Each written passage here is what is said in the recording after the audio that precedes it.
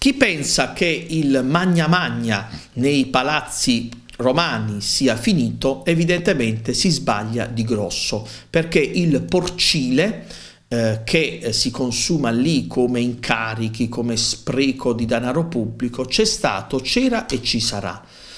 E la cosa assurda è che proprio il Movimento 5 Stelle, eh, che tanto parlava di taglio agli sprechi, di riduzione drastica degli stipendi, di aprire il Parlamento come una scatoletta di tonno, è caduto negli stessi errori, eh, nello stesso magna magna. Pensiamo al sontuoso staff di Luigi Di Maio, il cerchio magico di Di Maio, il cerchio vesuviano, come c'era il cerchio magico di Renzi, un cerchio magico di Di Maio che è composto di ex collaboratori in Parlamento, è composto eh, di eh, appunto eh, sinusi, si compone appunto con altri uomini indicati dalla Casaleggio e poi ovviamente con gli amici degli amici, quelli appunto dell'infanzia, dell'ex ehm, dell'ex Stewart, nonché Bibitaro, allo stadio San Paolo di Napoli.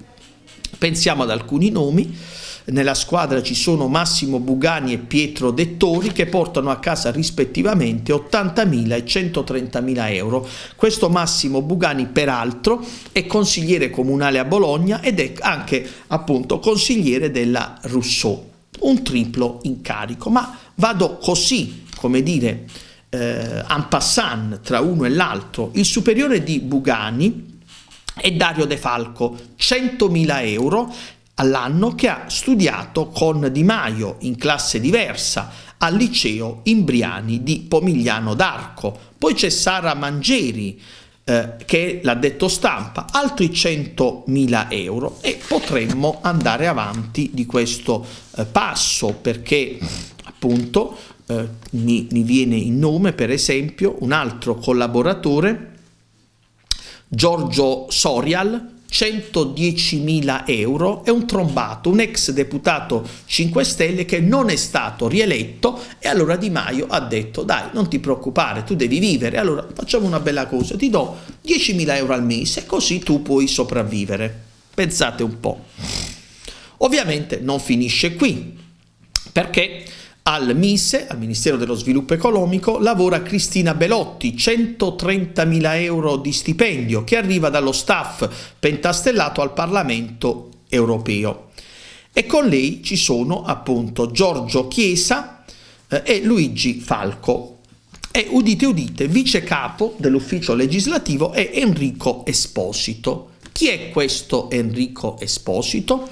È quello che scriveva dei tweet di eh, stampo sess sessista e si, si, si, giustificava, cercava di nascondere queste porcate che, che, combinava, che scriveva, diceva sto recitando il ruolo di un personaggio, non solo io, un personaggio inventato, però questi tweet non erano firmati con il nome del personaggio eh, inventato, ma appunto con il, il suo. E allora a questo porco perché scusate l'espressione così va definito, vanno 65 mila euro di eh, stipendio. E poi ancora abbiamo altri uomini sempre del cerchio magico campano, Daniel De Vito, capo della segreteria tecnica, anche lui campano di Avellino e porta a casa 130 mila euro e poi anche ah, una, c'è una giovane avvocata, eh, Elvira Raviele, anche lei appunto di ehm,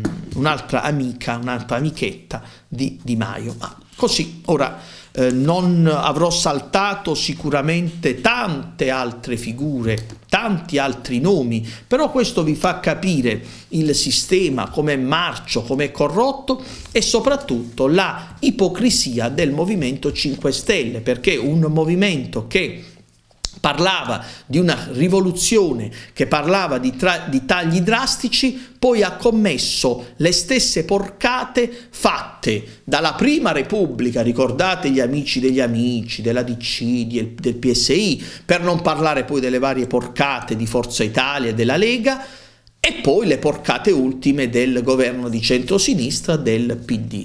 Ma alla fine il cerchio magico, come c'era il cerchio magico di Renzi, così c'è il cerchio magico di Di Maio.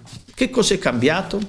Temo che alle prossime elezioni la gente non andrà a votare, anche perché così questo pallone pentastellato si è miseramente sgonfiato. Il pallone si è sgonfiato, ma le tasche e la pancia dei, dei pentastellati che mangiano pure loro, e beh, questo pallone è sempre più gonfio.